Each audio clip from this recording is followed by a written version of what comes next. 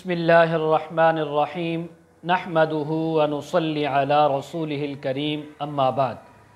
ناظرین، السلام علیکم ورحمۃ اللہ وبرکاتہ. آج ہم بات کریں گے خواب میں تانبا دیکھنے کی، خواب میں تانبے کو اپنے ہاتھوں میں لے کر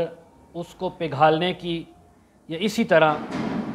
تانبے کا لوٹنا، لوٹا دیکھنے کی، یا اس کے مشابہ دوسری اشیاء بنی ہوئی دیکھنے کی تمام تعبیریں آج اس ویڈیو میں بیان ہوں گی۔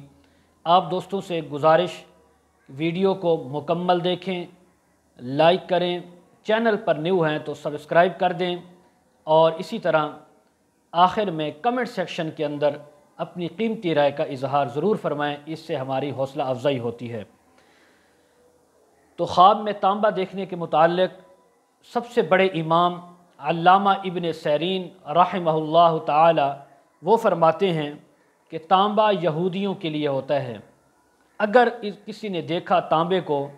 کہ وہ خواب کے اندر تانبا ہے، تو دلیل ہے کہ اسی قدر اس کو مال ملے گا، دولت ملے گی، اسی قدر اس کے مال کے اندر فراوانی ہوگی۔ دوسرے امام حضرت ابراہیم کرمانی رحمہ اللہ تعالی وہ فرماتے ہیں کہ خواب کے اندر تانبے کو دیکھنا کسی برتن کی صورت میں جیسے گلاس ہوتا ہے،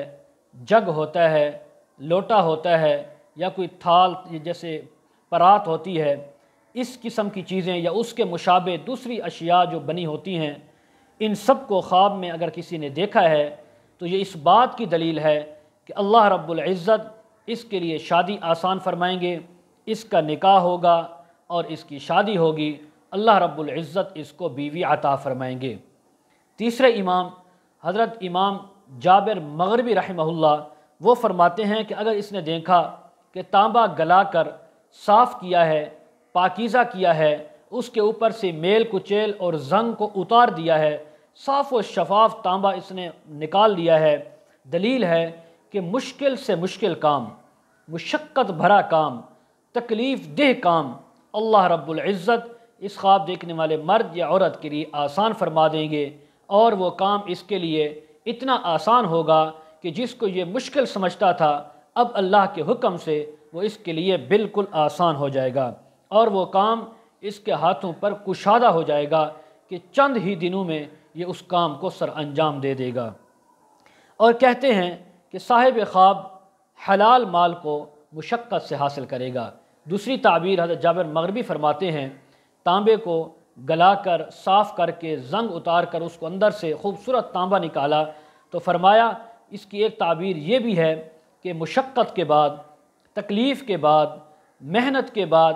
اللہ رب العزت اس کو حلال مال اور حلال دولت عطا فرمائیں گے۔ یہ تمام تعبیریں ہیں خواب میں تانبا دیکھنے کی۔ آخر میں آپ حضرات سے، ناظرین سے گزارش، جو حضرات اپنے بچوں کو، بچیوں کو آن لائن قرآن مجید تفاصیر احادیث اور دینی مسائل وغیرہ پڑھانا چاہتے ہوں، ہمارے ساتھ کمنٹ سیکشن میں کانٹیکٹ کر سکتے ہیں یا ڈسکرپشن میں ہمارا واٹس اپ نمبر دیا جاتا ہے، اس پر ہمارے ساتھ رابطہ کر سکتے ہیں۔ وآخر دعوانا ان الحمد للہ رب العالمین۔